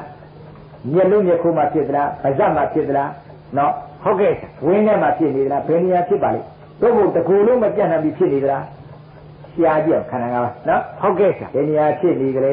ရှားကြည့်ဟုတ်လားဟုတ်ကဲ့ဒီပြီးတော့ဖြစ်တာလည်းမသိချင်းဖြစ်တယ်ကွာနော်ဟုတ်ကဲ့ဆရာမသိချင်းခန္ဓာ၅ပါးဖြစ်နေတာဖြစ်ပါတယ်သေချာကြည့်ရင်ငါဖြစ်တယ်သူဖြစ်တယ်ပုဂ္ဂိုလ်ဖြစ်တယ်တရားဖြစ်တယ်ဆိုတာကဒါနားတယ်လို့ပြောတာသေချာကြည့်ရင်ပရမတ္တအနေအားဖြင့်ဆိုခန္ဓာ၅ပါးပဲဖြစ်ဘာဖြစ်ဘူးပြည့်နော်ဟုတ်ကဲ့ဆရာဩလက်ဆက်တော့ငါတို့ပဋိသေခဏကစပြီးတော့ဟိုလေးနဲ့စုစီကြအောင်ပေါ့ သူလက်ရှိဘဝကြီးမှာတဘဝလုံးမယမနာပဲအမြဲတည်းဖြစ်နေတာခန္ဓာ၅ပါးတရားတဲ့ဟုတ်လားဟုတ်ကဲ့ဆရာအဲ့ဒီခန္ဓာ၅ပါးတရားကြီးအမြဲတည်းဖြစ်နေတာပြောတယ်တို့ဘယ်ဖြစ်မှမသိခေါင်းဖြစ်သလားကိုယ်ဖြစ်သလားလက်ဖြစ်သလားခြေဖြစ်သလားဝိနည်းရင်နဲ့ဖြစ်ဟိုဝမ်းနဲ့ရင်နဲ့ဖြစ်သလားဘယ်နေရာဖြစ်ပါလိမ့်ဖြစ်တဲ့နေရာမသိတော့လေခန္ဓာပဲဖြစ်မှကိုမသိဘူးနော်ဟုတ်ကဲ့အဲ့ဒါမသိတဲ့ဆိုကြတဲ့ခန္ဓာ၅ပါးဆိုတာဘယ်လိုခေါ်လဲဆိုတော့ကိုယ်ပုတ်ကြတာခန္ဓာ၅ပါးပဲဒီလိုပြောတယ်နော်ဟုတ်ကဲ့ဆရာဒါခန္ဓာ၅ပါးဖြစ်တဲ့အဓိပ္ပာယ်လေးတွေပိုးပြီးတော့နားလေလာ ဒါကြလည်းလက်ဆက်ပြောကြလို့များအဲ့ဒီခန္ဓာ၅ပါးတကယ်ကိုအဓိကဖြစ်တဲ့လူရင်းတရားပဲလို့ဒီခန္ဓာ၅ပါးပြတ်ပြတ်သားသားအတိတ်ပဲနဲ့တရားကိုတရားသားနဲ့ဥပမာဥပမေယနဲ့ဖြစ်ပုံပြက်ပုံနဲ့ဘယ်ချိန်ဘယ်ခါခန္ဓာတွေဖြစ်ပါလိမ့်ဘယ်နေရာဘယ်ဌာနဖြစ်ပါလိမ့်ငါကူဖြစ်နေတဲ့တရားဟောတော်လည်းပဲပဋိပတိခဏအစပြုပြီးကြအောင်ပြစ္ဆုတ်ပဘွာကြီးအသက်ထင်ရှားရှိနေတဲ့ကာလပတ်လုံးခန္ဓာ၅ပါးကြီးဖြစ်နေတယ်ပုဂ္ဂိုလ်တော်ဖြစ်တယ်ဆိုတာမဟုတ်ဒီလိုလဲဟောတယ် ဘယ်ချိန်နဲ့ဖြစ်ပါလိမ့်ဘယ်နေရာနဲ့ဖြစ်ပါလိမ့်ဖြစ်ဖို့ပြင်ပြီးနားလည်တာနော်ဟုတ်ကဲ့အဲ့လိုဖြစ်ဖို့ပြင်ပြီးနားလည်တာတော့ဘာဖြစ်ကြလဲပြီးတော့ဒီပုဂ္ဂိုလ်ကြီးတဲ့အပြိညာအမှန်တမ်းမြင်နေပါပြီတဲ့ခန္ဓာ၅ပါးဖြစ်တဲ့ဖြစ်တဲ့သဘာဝတွေသူပြတ်ပြတ်သားသားနားလည်ပြီနားလည်လည်းပါဖြစ်အဲ့ဒီခန္ဓာ၅ပါးကိုပဲအနိစ္စဒုက္ခအနတ္တဆိုတဲ့လက္ခဏာတွေလုံးဝနဲ့ဆက်ပြီးတော့ဆင်ញင်ပွားများအားထုတ်ရင်နဲ့မဲ့ညာပူညာခဏနဲ့ရနိုင်တဲ့တရားကိုနော်ဟုတ်ကဲ့ဗျာဒီလိုသိမှလည်းရှင်းမြင်လို့ပွားများလို့အားထုတ်လို့မဲ့ညာပူညာရကောင်းတယ်ဒါမှလည်းနိဗ္ဗာန်မျက်မှောက်ပြုနိုင်တယ် ဟုတ်လားဟုတ်ကဲ့အဲ့ဒါခန္ဓာ၅ပါးဖြစ်တဲ့သဘာဝလေးတွေကချပြီးတော့ကြည့်ကြတယ်ကြည့်ွယ်အထိပ္ပယ်ပြရတယ်မျက်စိသက္ကုပတာရနော်ဟုတ်ကဲ့စောစောပြတဲ့အာရဏစနံပါတတ္တိစေပါဒါဒါပဲခန္ဓာကြီးငါပြန်ပြတယ်ခန္ဓာငါဘယ်ဖြစ်ပါလိမ့်မယ်သက္ကုပတာရအကြည့်ရုပ်အခန္ဓာသိတယ်မလားဟုတ်ပါလေမြင်ကောင်းတယ်ဆိုတော့ယူပါတော့အရှင်းသူအတိုက်တာမဟုတ်လားအတိုက်တာပါသူတို့ကတိုက်တယ်လားတိုက်ပါလေတိုက်တော့ဘာဖြစ်လဲသိ သက္ကုဝိစိတ်ပေါ်လာပါလေဟောသက္ကုဝိစိတ်ပေါ်လာလေလားဟုတ်ကဲ့ဆရာအမှန်လေးပြောသိမှုလေးလားဟုတ်ကဲ့ဆရာသိတတ်တဲ့သဘောလေးပေါ့နော်သိတတ်တဲ့သဘောလေးပါဒါနဲ့ဓာတ်တုံးကပေါင်းတာပေါင်းပါလေသက္ကုပလာရအကြည့်ရုပ်ကလေးရဲ့ဒါအခန္ဓာယူပါရုံဆိုတော့မြင်ကောင်းတဲ့အရှင်းရုပ်ကဲနော်ဟုတ်ကဲ့ဆရာသူကတိုက်တာသူတို့နှစ်ပါးတိုက်တိုက်တယ်ဘာဖြစ်လဲဆိုတော့သက္ကုဝိစိတ်ညီစိတ်လေးပေါ်လာလေသိတယ်မလားဟုတ်ပါလေဒီညီစိတ်လေးပေါ်လာညီစိတ်လေးပေါ်လာတော့ကဒီညီစိတ်ကလေးက သူ့ရဲ့ပေါ်လာသလားဆိုတော့မဟုတ်ပါဘူးတဲ့နော်ဟုတ်ကဲ့ဆရာဒီကမှနော်ဒီကမှခန္ဓာ၅ပါးကိုယ်ကိုယ်မှာဘယ်နေရာဖြစ်နေတယ်ဘယ်အချိန်ဖြစ်နေတယ်ဘယ်လိုဖြစ်တယ်ဆိုတဲ့သဘောလေးအဲ့ဒါအရေးကြီးလို့ဆိုတဲ့အချက်ပါပဲအခန္ဓာနဲ့အတိုက်တက်လဲစက္ကုညစိတ်မြင်စိတ်လေးပေါ်လာပြီလားဟုတ်ကဲ့ဆရာဒီအဲ့ဒီမြင်စိတ်ကလေးကစိတ်နော်စိတ်ပါဒီမြင်တယ်ဆိုတဲ့စိတ်တရားလေးဖြစ်လာလို့ရှိရင်တဲ့စိတ်တရားကြီးတစ်လုံးနဲ့ဖွဲ့ဖြစ်တယ်မထင်ပါနဲ့မဖြစ်ကောင်းပါဘူးနော်ဟုတ်ကဲ့ဒါအထိတ်ရဲ့ငါတစ်ခါရှင်းပါဦး လေစောစောတော့ငါပြောလာကြတယ်ရုပ်နာဆိုတဲ့နေရာမှာရုပ်ကလည်းရုပ်နဲ့စိတ်စပါကောက်တယ်နာရတယ်ဘလူဘလူကောက်တယ်ကွာနာတယ်ပါလေးကကောက်ပါဟောဟောချာချာချာစိတ်နဲ့စေတသိက်နဲ့ငါပြောတယ်ဘုလားဟုတ်ပါတယ်စိတ်နဲ့စေတသိက်ဘုလားဟုတ်ပါတယ်စိတ်နဲ့စေတသိက်နဲ့နော်ဟုတ်ကဲ့ဟေးဒါလို့စိတ်ဖြစ်ရင်စေတသိက်အမျက်ဖြစ်တယ်လားဖြစ်ပါတယ်အဲ့ဒါနားလည်ကြလို့ပြောတာလို့နော်ဟုတ်ကဲ့ဆိုတော့သူတို့ကမှတ်ထားပါဟောဒီစိတ်ဖြစ်လိုက်ရင်ဘယ်စိတ်ဖြစ်ဖြစ်စေတသိက်ကအမြဲတည်း လိုက်ဖြစ်တယ်နော်ဟုတ်ကဲ့ဆာလူနဲ့အေးလို့မှတ်မိတယ်မှတ်မိပါလူနဲ့အေးလို့ဟုတ်ကဲ့ဆာမှတ်မိတယ်မှတ်မိပါလူနဲ့အေးလို့ဘာဘာဘာပြီးတယ်ကွာလူနဲ့အေးဘယ်နဲ့နေလဲလူလူလူသွားအရေးပါသမြဲပါပဲ။ဩလူသွားအရေးပါသမြဲလား။ဟုတ်ကဲ့ဆရာ။ခွဲခွဲတော့မရဘူးပေါ့။မရပါဘူး။ဩလူလူပေါ်ရဲ့အရေးပေါ်တာပဲလား။ဟုတ်ပါလေ။ဟုတ်ကဲ့လား။ဟုတ်ပါလေ။အဲလူနဲ့အေးဒီလူနဲ့ထွက်တဲ့ကကြဘလူကအရင်ဖြစ်ပြီးတော့နောက်ဖြစ်ပါလိမ့်။လူကအရင်ဖြစ်တာပါ။ဩ ဒီကောင်ဒီဦးတဲ့ထွက်တော့အဲ့ဒီသူဘယ်နဲ့ခုန်ခံပြီဟောဘယ်တော့မြင်ကြလဲကောင်လဲဟိုဖြစ်ပုံဖြစ်ပုံပေါ်လာကိုပေါ်လာကိုလူနဲ့အိမ်လူနဲ့လူထွက်လာရင်အိမ်နဲ့လူဒီဘယ်သူကအရင်ပေါ်လူကအရင်ဖြစ်လူကအရင်ဖြစ်ပြီးမှအရေးကနောက်မှဖြစ်တာဩပေါ့ဗျာမလျှော့ဘူးသို့တော့ညင်းပေါ့အဲဒီကြတဲ့နာမှာခက်တယ်တကယ်နဲ့ပေါ်တယ်မဟုတ်ဘူးလားနဲ့လူနဲ့ထွက်လာပြီးတဲ့ကျင်းနဲ့လူဖြစ်ပြီးတော်တော်လေးကြာမှအိမ်ပေါ်လာတယ်မကြဘူးလားမကြောက်ဟုတ်ပါလေဆရာအမလေးငါနေပေါ့ဒုက္ခ တကယ်နဲ့အရင်ဖြစ်တယ်လားဟုတ်ပါလေဆရာအဲ့ဒါသူကိုဒိုးရမဆိုးပါဘူးသူအတွေးရှိရတယ်ပြီးတော့ငါပြန်ပြီးပါဦးဒါနဲ့ကောင်းပါပြီဖြစ်တာတော့အတူတူဖြစ်တယ်လူနဲ့အဲ့ဒီတကယ်နဲ့လူတွေထွက်လာပေါ်လာရောဟုတ်ကဲ့ဆရာဟုတ်လားဟုတ်ကဲ့ဆရာဒါပေမဲ့လို့လူကအရေးကိုပြီးဖြစ်သလားအရေးကလူကိုပြီးဖြစ်သလားရိတ်ကလူကိုမှီဖြစ်တာပါဒါသူပြောတာပါသူတို့မဟုတ်လားဟုတ်ပါလေအမလီဟုတ်လေဒီမှာလောလို့နော်ဟုတ်ကဲ့ဆရာအေးဒါပြောတာပါနည်းနည်းအကွက်ကကြော်သွားလို့ပါ ဒါပြည့်လူနဲ့အရေးကြီးနေရထွက်လာရင်တကယ်နဲ့ဖြစ်တယ်ဆိုရတဲ့အရေးကြီးလူကိုပြီးရဖြစ်ရပါပြီနော်ဟုတ်ကဲ့ဆရာလူရှိမှအရေးဖြစ်ကောင်းပါပြီသူတို့မဟုတ်လားဟုတ်ပါလေဩဒါပြောတာဒါပြောတာဒီကျဟုတ်တယ်မလားဟုတ်ပါလေအဲလူကအဓိကပေါ့အဓိကပါဒီဟုတ်ပြီအခုလည်းစိတ်နဲ့စေတသိက်တရားပြီးကြကြမှာပါစိတ်နဲ့စေတသိက်တရားဒီဖြစ်လိုက်တဲ့နေရာမှာစိတ်ဖြစ်ရင်စေတသိက်ဖြစ်တယ်ဆိုတော့စိတ်နဲ့စေတသိက်အတူဖြစ်ရမရောက်ဘူးလားရောက်ပါလေဆရာတကယ်နဲ့ပေါ့ဟုတ်ကဲ့ဆရာ ဘယ်သူကရှင်းကြတယ်ဘယ်သူကနောက်ကြတယ်ပြောလို့ဖြစ်သလားမဖြစ်ပါဘူးဒါမှတ်တယ်တော့အဲ့ဒါလေးဟောစေတသိက်တရားညာဒီစိတ်ဖြစ်ရင်သူဖြစ်တာပဲ đúng မလားဟုတ်ပါလေဆရာဒါကြောင့်ဧကုပ္ပါဒဧကလမနဧကုပ္ပါဒဧကនិရောဓဧကလမနဧကဝိတုက၄ချက်ပြတယ်စိတ်နဲ့အတူဖြစ်ပြတ်တော်ဟောတယ်စိတ်နဲ့ဒီဖြစ်တာနော်ဟုတ်ကဲ့ဆရာလူလူကနောက်ကြောက်စိတ်ပြင်းသူဖြစ်တယ်စိတ်ပြင်းသူဖြစ်တယ်နှစ်ချက်တည်းလားနေပါလေဆရာစိတ်နဲ့တူတော့အာယုံဆိုတော့စိတ်အာယုံပြတာသူလည်းလိုက်ပြတာလေ đúng မလားဟုတ်ပါလေစိတ်ချက်ရှိပါနော်ဟုတ်ကဲ့ဆရာပြီးတော့ဟော စိတ်နဲ့တူတော့အာယုံစိတ်နဲ့တူတော့မိယာလို့ဆိုတော့အထိပ္ပယ်စိတ်ကဒီဒီဝိတ္တိယကိုမိဖြစ်တယ်ဆိုသူကဒီဝိတ္တိယကိုမိတယ်နော်ဟုတ်ကဲ့ဆရာအဲအဲ့ဒီလောကဆိုတော့ငါပြောတယ်စက်ကုညစက်ကုညမြင်စိတ်ကလေးရှိတယ်မို့လားရှိပါလေဘလူမိဖြစ်တယ်ဆိုစက်ကုပတာရစက်ကုဒီယုတ်ကလေးမိဖြစ်တယ်မို့လားဟုတ်ပါလေအေးအေးဟာလားစက္ခုဝိညာဉ်စိတ်ကလေးဒီစက္ခုဝိတ္တိယုတ်ကလေးပြီးဖြစ်တယ်ဆိုသူကလည်းဒီဝိတ္တိယုတ်ပြီးတာ ဒါဟုတ်လားဟုတ်ပါလေဒါပြီးရတော့တူးနေလားကွာတူပါလေဆရာအာရုံပြုတော့ဟောအတူတူပါပဲဆရာဟောဖြစ်တော့ဟောအတူတူပါပဲဆရာပြက်တော့ဟောအတူတူပါပဲဆဟောရာလေးချက်မှတ်ပြီလားဟုတ်ကဲ့ဆရာဟောစေတသိက်တရားရဲ့ဖြစ်နေတဲ့သဘာဝလေးဒါလေးမှတ်ထားပါစေတသိက်ကဘယ်လောက်ရှိရဲကွာလုံးရင်တို့ရင်50နဲ့နှစ်ပါးရှိပါတယ်အေးဟာတယ်မှတ်ပြီလားမှတ်မိပါဒီအဲ့ဒီစေတသိက်50နဲ့နှစ်ပါးတော့စေတသိက်တရားတို့ဒီစိတ်ဖြစ်ရင်ဖြစ်တယ်စိတ်ပြင်းပြက်တယ် စိတ်နဲ့မိယာတူတယ်စိတ်နဲ့အာရုံပြုမှုတူတယ်လေးတယ်ပြီလားနေပါလေဆရာဧကဘာရဧကနိရောဓဧကလမနဧကဝတ္ထုကလက္ခဏာ၄ချက်ပြတ်တယ်။အော်စေတသိက်နဲ့စိတ်ကြီးကဒီလိုသွားကြတယ်ကိုနော်ဟုတ်ကဲ့ဆရာ။အဲ့ဒီထဲမှာတစ်ခါလာရပြီ။သတ္တစိတ်တတာဒါရဏစေတသိက်9ခုဆိုတာစေတသိက်50နှစ်တည်းခွဲထုတ်လဲပြီးတာပြီးတော့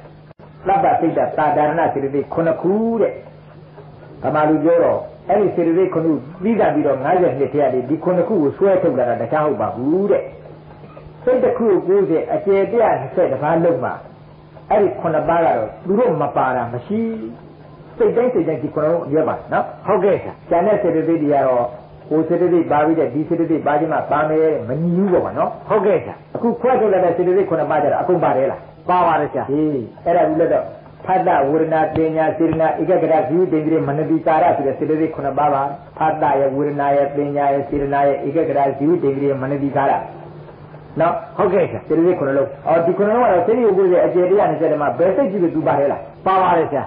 ဘယ်စိတ်ကြည့်လို့သူဖြစ်ရင်အတူဖြစ်တယ်လားဖြစ်ပါလေမှတ်မိရလားမှတ်မိပါကျန်တဲ့စေတသိက်90 50ကျတော့စေတသိက်90လုံးအကုန်ပါခြင်းမှပါတာတဲ့သို့မဟုတ်လားဟုတ်ကဲ့ဆရာဒါကြောင့်စေတသိက်90ဖြစ်သမျှအဖြစ်အကုန်ပါတယ်ဆိုတဲ့စေတသိက်9ခုသီးတာပြီးထုတ်လိုက်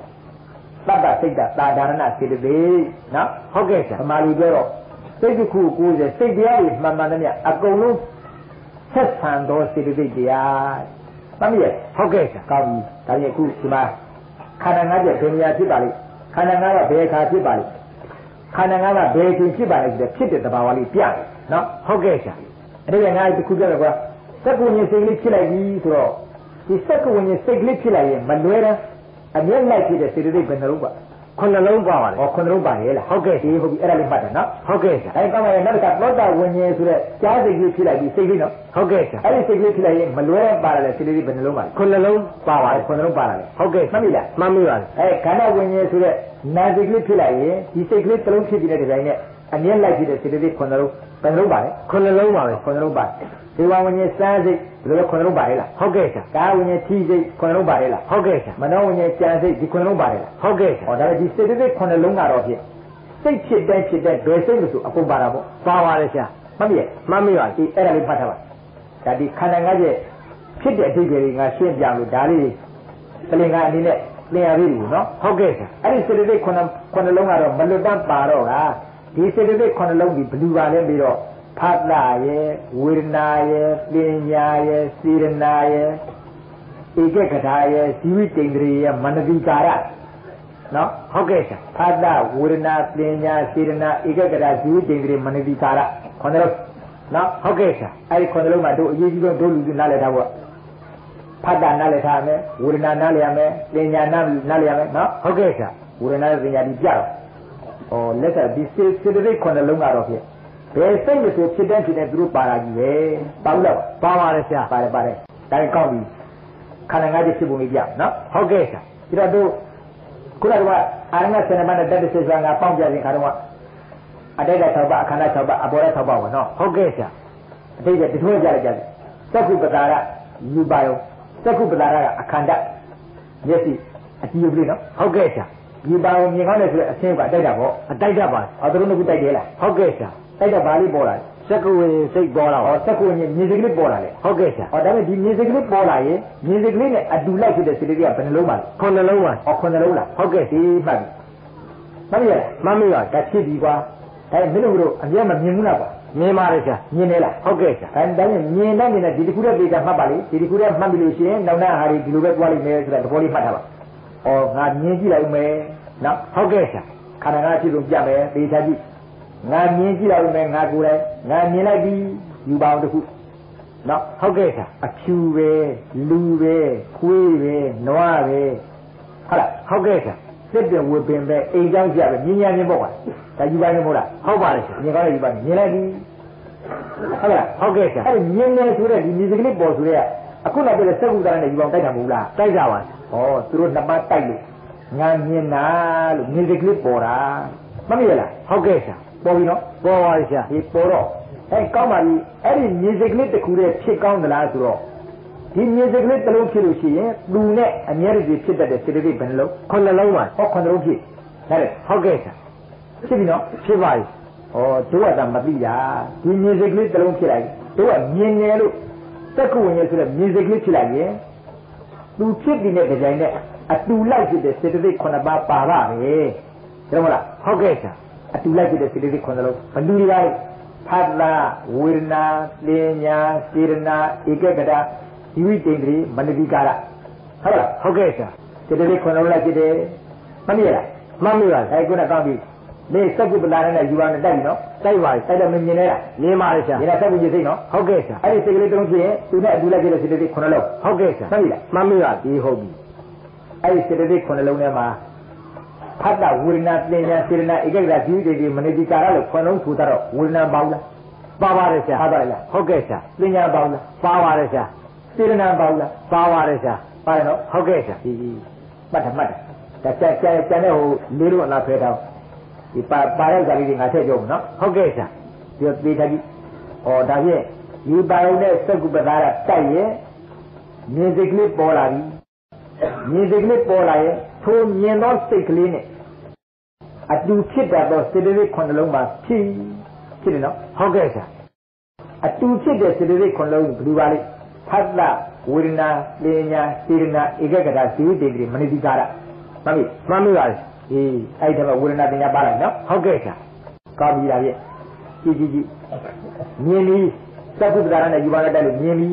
မြင်ပြီလားမြင်ပါပြီဆရာမြင်စကလေးနော်ဟုတ်ကဲ့ဆရာမြင်စကလေးပေါ်ပြီးတဲ့နေရာ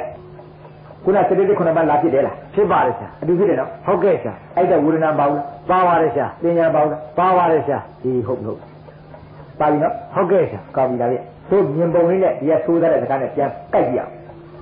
ဒါဖြင့်တို့ဟာယူပါအောင်တစ်ခုကိုမြင်လိုက်တဲ့အခါမှာယူပါအောင်တစ်ခုမြင်လိုက်တဲ့အခါမှာမြင်တယ်ဆိုတာစက္ကုမြင်စိတ်ပဲမြင်စိတ်ကလေးပေါ်တာနော်ဟုတ်ကဲ့ဆရာအဲ့ဒီစိတ်ကလေးပေါ်တဲ့ကတရားဘယ်နှပါပေါင်းသွားလဲပြီးရင်သက္ကုပ္ပတာရအခန္ဓာဒီပေါင်းအတိုက်တာသူတို့နှစ်ခုတိုက်ချင်းကပေါ်တဲ့သက္ကုညစိတ်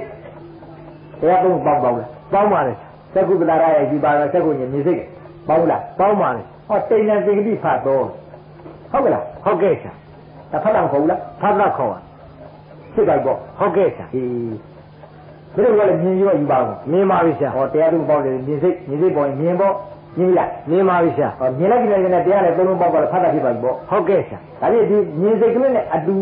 ဖြစ်တယ်ဆိုတဲ့စေတသိက်ခုနှစ်ပါးထဲမှာပထမဆုံးနံပါတ်1ဖတ်တာဝေဒနာပညာလို့ဆိုတတ်တယ်နဲ့ဖတ်တာတစ်လုံးရပါပြီပေါ့ဟုတ်ကဲ့ဆရာတရားသုံးပေါင်းဖတ်တာဟုတ်ကနော်ဟုတ်ကဲ့ဆရာဖတ်တာတစ်လုံးဖြစ်သွားပြီတမ်းရလားမှန်ပြီပါပြီအဲကောင်းပြီ အဲ့ဒီမြင်တာဟာမင်းတို့ကဒီမြင်ကမျှနေသလားလို့ပြီးတော့မြင်ကမျှမနေဘူးတဲ့မင်းမြင်တဲ့ယူပိုင်အရာကခံစားမှုသဘောလေးခံစားရတယ်ဆိုတဲ့သဘောလေးဖြစ်ပြီ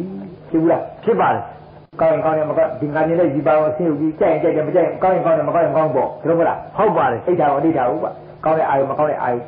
ကောင်းတဲ့အာယုမကြိုက်တယ်မို့လားကြိုက်ပါလေမဲကြည့်ကောင်းတယ်ဒီလိုမလားဟုတ်ကဲ့ဆရာမကောင်းတဲ့အာယုကြတာအာကြည့်ရတာစိတ်ကြိုက်တာနှလုံးသားတယ်ဒီလိုမလားဟုတ်ပါလေ ဒီမြင်တဲ့အာယုရတယ်ခံစားမှုဝေဒနာတော့ဟုတ်ကဲ့ဆရာမှတ်မိလားမှန်ပြီပါလေဟောဒါနဲ့မြင်ဒီလိုခံစားရတဲ့သဘောလေးဖြစ်တယ်လားဖြစ်ပါလေဟောဖြစ်ပြီဒါလည်းမေးတော့မဟုတ်သေးဘူးတဲ့မှတ်သားမှုဆိုတဲ့ပညာလည်းဖြစ်သေးတယ်ဘယ်လိုတော့အခုမြင်တာကလူပဲအခုမြင်တာယောက်ျားပဲအခုမြင်တာမိန်းမအခုမြင်တာပြည့်ပြည့်ဝဝင်တုံးတိုင်တောတောင်ရေတွေသမုဒ္ဒရာပဲလို့အရာဝတ္ထုအစုစုတစ်ခုနဲ့တစ်ခုအောင်မမှတ်အောင်ဆွဲကြပြီးတော့ပြက်ပြက်သားသားမှတ်ထားတဲ့သဘောလုံးပါဘူးလားပါပါတယ်ဆရာ အဲ့လိုမှတ်သားမှုလေးမပိုင်မြင့်နေတဲ့ယူပါအောင်နေရတစ်ခုနဲ့တစ်ခွဲရပါအောင်လားမရပါဘူးဘိဖြစ်မှာနော်ဟုတ်ကဲ့ဆရာအခုတော့မင်းမြင်လိုက်ရင်ခွဲလိုက်ကြဖြစ်ပြီပေါ့နော်ဖြစ်ပါလေဆရာအငါမြင်တာယောက်ျားငါမြင်တာမိန်းမတို့မလားဟုတ်ကဲ့ဆရာဒီအောင်နဲ့မှားသေးလားမမှားပါဘူးဆရာဒီကသဏ္ဍာန်လေးနဲ့မှားသေးလားမမှားပါဘူးဆရာအဲဒါမင်းတို့ကအဲ့ဒီမှတ်သားမှုဆိုတဲ့ပညာလေးဖြစ်တာကို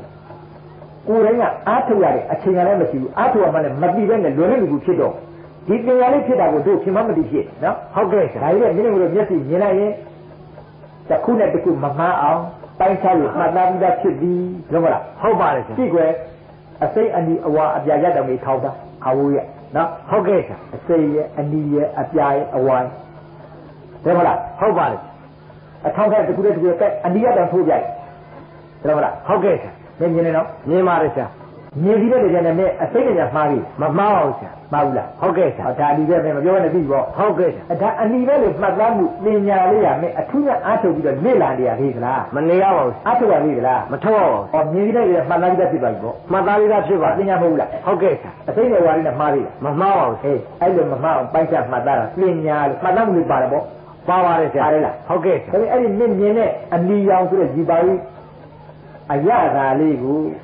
အမကြည့်ကောင်းတာအမကြည့်မကောင်းဘူးခန္ဓာဥဒ္ဘောပေါလားပေါ်ပါတယ်ဆရာပေါ်လဲလားဟုတ်ကဲ့ဆရာဒါဝေဒနာမဟုတ်လားဝေဒနာပါဆရာဟောဒါလည်းတို့ရှိတယ်ပေါ့ရှိပါတယ်ဆရာဟောမြင်လိုက်ရင်မြင်တာကဒီပါကိုမြင်တယ်မြင်စိတ်ကလေးဖြစ်တယ်စက်ကူမြင်စိတ်ဖြစ်တယ်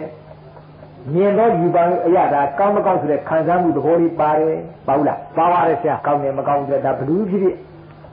ရှိလိုက်တယ်တဲ့ အဲ့ဒါခါသားဝေဒနာပဲနော်ဟုတ်ကဲ့ဆရာမြင်လိုက်တဲ့အာယုံကိုတစ်ခုနဲ့တစ်ခုမမှားအောင်ပိုင်းခြားပြီးတော့မှတ်သားမှုဆိုတဲ့ပညာပါတယ်ပါဘူးလားပါပါတယ်ဆရာအေးပါတယ်မှတ်ရလားမှတ်မိပါတယ်ပြီးတော့တဲ့ပြီးတော့အဲ့ဒီမြင်လိုက်တဲ့ယူပါယုံအဆင်းရုပ်ကလေးပေါ်မှာပြီးဖြစ်တဲ့စေတနာစေတသိက်ကြီးပါသေးတယ်ဘလူတွေတော့အမေဒီငါခုခုမြင်တာလေးတော့ငါလူချင်လိုက်တာနော်ဟုတ်ကဲ့ဆရာဒါစေတနာနော်ဟုတ်ကဲ့ဆရာ အခုမြင်တဲ့ယူပါဝင်ကြတော့ငါမလို့ခြင်းဘူးစိတ်မချမ်းသာဘူးယွန်းနေမုန်းနေဘူးသိတော့မလားဟုတ်ပါတယ်ဗမာလူသူတို့သူတို့ပြောတော့ကွာငါအခုမြင်တဲ့ယူပါဝင်ကိုကြိုက်တယ်မကြိုက်ဘူးသိတော့မလားဟုတ်ကဲ့ဆရာကြိုက်တယ်ကြိုက်တယ်မကြိုက်ရင်မကြိုက်ဘူးပေါ့သိတော့မလားဟုတ်ကဲ့ဆရာအခုတစ်ခုရှိရမယ်နော်ရှိပါတယ်အေးရှိရမယ်ရှိရမယ်ကြိုက်ရင်ကြိုက်တာနဲ့နှိမ့်တဲ့နဲ့တူတူပဲသိတော့မလားဟုတ်ပါတယ်နှိမ့်တဲ့ရင်ဒေါသမနှိမ့်တဲ့ရင်ဒေါသဒါစေတနာတွေပဲသိတော့မလားဟုတ်ပါတယ်ဒီစေတနာလေးပါတာပေါ့ ပါပါတယ်ဆရာမြင်လေနေလို့ရှိရင်ပါပါတယ်ဆရာအဲ့ဒီစေတနာတရားဒါဒါအမှန်ကတော့အခုနပြောတဲ့စေတသိက်ခုနှစ်လုံးထဲမှာတဲ့ဒီအာရိယကလေးခံစားတတ်တယ်ဆိုတဲ့သဘောလေးကဝေဒနာစေတသိက်တဲ့နော်ဟုတ်ကဲ့ဆရာဒီအာယုံကိုတစ်ခုနဲ့တစ်ခုမမှတ်အောင်ပိုင်းခြားပြီးမှတ်သားတာကပညာစေတသိက်မှတ်ပြီလားမှတ်မိပါတယ်ဒါပေမဲ့ခုနခုနှစ်လုံးပြန်ဖြစ်တယ်ဆိုတဲ့စိတ်နဲ့အတူတူဖြစ်တယ်ဆိုတဲ့စေတသိက်ခုနှစ်လုံးထဲမှာ ဝေဒနာစေတသိက်တစ်လုံးနှုတ်လိုက်ပညာစေတသိက်တစ်လုံးနှုတ်လိုက်နှလုံးနှုတ်လိုက်နေပါတယ်ဆရာကျန်တဲ့စေတသိက်ဘယ်နှလုံးငါးလုံးပါငါးလုံးလားဟုတ်ကဲ့ဆရာအဲ့ဒီငါးလုံးဟာဖတ်တာအစရှိတော့ကြံသောစေတသိက်ငါးလုံးနော်ဟုတ်ကဲ့ဆရာဒထပ်တအစရှိတော့ကြံသောစေတသိက်၅လုံးအဲ့ဒါတွေစေတနာတွေတဲ့သူတို့ကနော်ဟုတ်ကဲ့ဆရာအခုနပြောတဲ့လူရင်လူချင်းနဲ့ကြိုက်ရင်ကြိုက်တယ်မကြိုက်ရင်မကြိုက်ဘူးမလူချင်းမလူချင်းဘူးကြံတဲ့စေတသိက်၅လုံးကတော့ဒါစေတနာတွေတဲ့သူတို့ကဟုတ်လားဟုတ်ကဲ့ဆရာဒါရင်ကောင်းပြီကွယ် ယူပါတစ်ခုမြင်လိုက်တယ်မြင်ဘူးလားမြင်ပါတယ်ဆရာမြင်လိုက်နော်ဟုတ်ကဲ့ဆရာမြင်တော့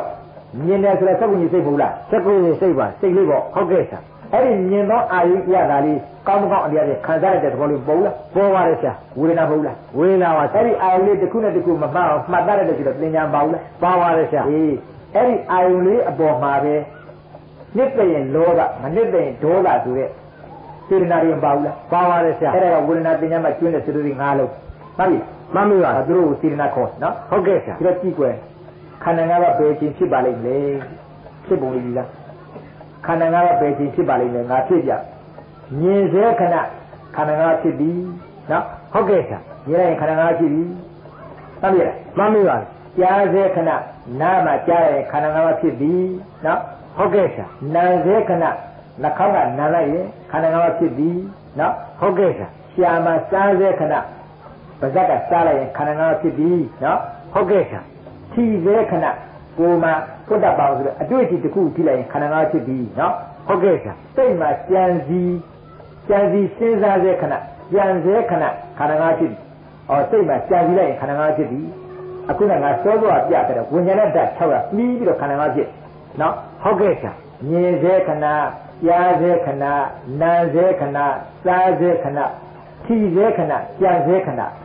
မှတ်ရမှတ်မိပါသိမချောက်ဘူးလားသိမှု6ခုပါအေးသိမချောက်ဘူးအဲကောင်းပါပြီခန္ဓာငါးကသိမချောက်ဘူးဘယ်လိုဖြစ်နေပါလိမ့်မလဲခန္ဓာငါးကဖြစ်ဖို့လေကြံပြပါဦးမြင်စေခဏမြင်စေကလေးပေါ်တဲ့ခါနော်ဟုတ်ကဲ့ဆရာခန္ဓာငါးဖြစ်ပါဘယ်လိုဖြစ်တော့ဒိဋ္ဌိသက္ကုပ္ပတာရအခန္ဓာနော်အခန္ဓာပါလူလနာနာမဆရာဟောရုပ်ပါဆရာရအောင်တာရုပ်တော့ဟုတ်ကဲ့ဆရာအခန္ဓာလားအခန္ဓာပါ ယူပါရောအသေးလူလနာနာမဆရာအချချချရုပ်ပါပဲဆရာသမီးလားမှတ်မိပါဟောသူတို့ကတိုက်တယ်လားတိုက်ပါသမီးလားမှတ်မိပါသူတို့ကတိုက်တော့ဘာလေးပေါ်တာလဲငင်းငင်းကလေးပေါ်လာပါဟောမြင်စိတ်လေးပေါ်လာလေလားဟုတ်ကဲ့ဆရာသူကဒုလနာနာမဆရာဟောနာစိတ်ကိုပါဟုတ်ကဲ့ဆရာလူလဲပါပြီဒါနာနော်ဟုတ်ကဲ့ဆရာသမီးလားမှတ်မိပါကောင်းပြီဒီစိတ်ကလေးပေါ်လာတာဒီစိတ်ကလေးနဲ့ဖြစ်တူပြက်တူဆိုတော့စိတ်ကလေးဘယ်နှလုံးပါလဲ ခုနှလုံးပါခုနှလုံးလားဟုတ်ကဲ့ဆရာအဲ့ဒီစိတ်ကလေးခုနှလုံးကဝေဒနာပါတယ်လားပါပါတယ်ဆရာဟောအာရိယတာခါကြတယ်ခုနခန္ဓာဝင်ငါကြောပါဘောနော်ဟုတ်ကဲ့ဆရာသင်ညာပါလားပါပါတယ်ဆရာဟောအာယုတစ်ခုတစ်ခုမမှတ်အောင်မှတ်တတ်တယ်လားဟုတ်ကဲ့ဆရာပါတယ်ပေါ့ပါပါတယ်ကျန်တဲ့စေတသိက်ငါးလုံးကတော့စိတ်စောတိုက်တွန်းပြုပြင်တတ်တဲ့စေတနာငါးလုံးကြိုက်ကြိုက်တယ်မကြိုက်ရင်ကြိုက်ဘူးပေါ့ကွာနော်ဟုတ်ကဲ့ဆရာလူချင်းတယ်မလူချင်းဘူးနှစ်သက်တယ်မနှစ်သက်ဘူးဆိုတော့ဒါကြံငါးလုံးကစေတနာတွေပဲတဲ့သူတို့လုပ်တယ်လုံးမလားဟုတ်ပါတယ်ကဲဒါရဲ့ခန္ဓာငါးဖွဲ့ပြန်ပြီးကြပါစားသက္ကုပ္ပတာက ရုပ်နော်ဟုတ်ကဲ့ဆရာယူပါယုံရုပ်မလားဟုတ်ကဲ့ဆရာသူတို့လည်းတိုက်ကြလားတိုက်ပါတယ်ဩရုပ်ရချင်းတိုက်တယ်ပေါ့ဟုတ်ကဲ့ဆရာအေးအဲ့ဒါရုပ်တရားတွေပဲတဲ့သက္ကုပ္ပတာနဲ့ယူပါယုံပြီးအဘိမုခိကတနာအနေအားဖြင့်တစ်ခုနဲ့တစ်ခုရှေ့ရှုတိုက်ဆိုင်ပြန်ပြီးတော့တိုက်လိုက်ကြတယ်တိုက်ဘူးလားတိုက်ပါတယ်ဩရုပ်ချင်းတိုက်တာပေါ့ဟုတ်ကဲ့ဆရာအဲအဲ့ဒါတွေယုံတရားဖြစ်ခြင်းကြောင့်ယူပဲ့ခန္ဓာခေါ်သည်နော်ဟုတ်ကဲ့ဆရာမမြင်လားမှတ်မိပါတယ်သက္ကုပ္ပဒါရနဲ့ယူပါအောင်တိုက်ဆဲခဏမှာ သက္ကုပ္ပဒါရနဲ့ယုတ်တရားယူပါအောင်နဲ့ယုတ်တရားဆိုတော့ယုတ်တရားပြီးတော့ဘာခန္ဓာခေါ်မယ်ယူပက်ခန္ဓာခေါ်ပါတဟောယ်ယူပဲ့ခန္ဓာတစ်ပါးရမမြင်လားမှတ်မိပါတယ်ကောင်းပြီဒိဋ္ဌာလက်စုကမြင်တယ်လို့သူတို့တစ်ခုတိုက်မြင်စကလေးပေါ်လာလားပေါ်ပါတယ်ဆရာသက္ကုညစိတ်မမြင်လားမှတ်မိပါတယ်စိတ်တရားဟုတ်လားစိတ်တရားပါစိတ်တရားမှရင်ဘာခန္ဓာခေါ်မယ်နန္တိဘာခန္ဓာခေါ်မယ်ဒီလိုဝိရအကျဉ်းနဲ့အတရားနဲ့တဲ့ပါဝိညာဉ်နဲ့ခန္ဓာခေါ်ပါတယ်မှတ်ထားပါပြီးပြီးချာချာနော်ဟုတ်ကဲ့ဆရာခန္ဓာကဘာတေကိုတော့မှတ်ပြီဘူးလားဟာ အသက္ကုညဆိုတာစိတ်ကလေးပေါ့စိတ်ကလေးပါအဲ့ဒီစိတ်ကလေးပြန်ပြီးဘာခန္ဓာခေါ်မယ်ဝိညာဉ်နဲ့ခန္ဓာခေါ်ပါဟောဝိညာဉ်နဲ့ခန္ဓာခေါ်မှတ်မိလားမှတ်မိပါတယ်ခန္ဓာဘယ်နှပါးရှိပြီငါးပါးရှိပါတယ်အေးဟုတ်ပြီခုကြီးပြသွားတာလေနှစ်ပါးရှိပါတယ်တစ်ပါးရှိပြီလားဟုတ်ကဲ့ဒီလက်ပြီးတော့ယူပက်ခန္ဓာနဲ့ဝိညာဉ်နဲ့ခန္ဓာအေးဟုတ်ပြီမှတ်မိလားမှတ်မိပါတယ်တောင်းပြီဒါဖြင့်အဲ့ဒီမြေစိတ်ကလေးပေါ်လာတော့က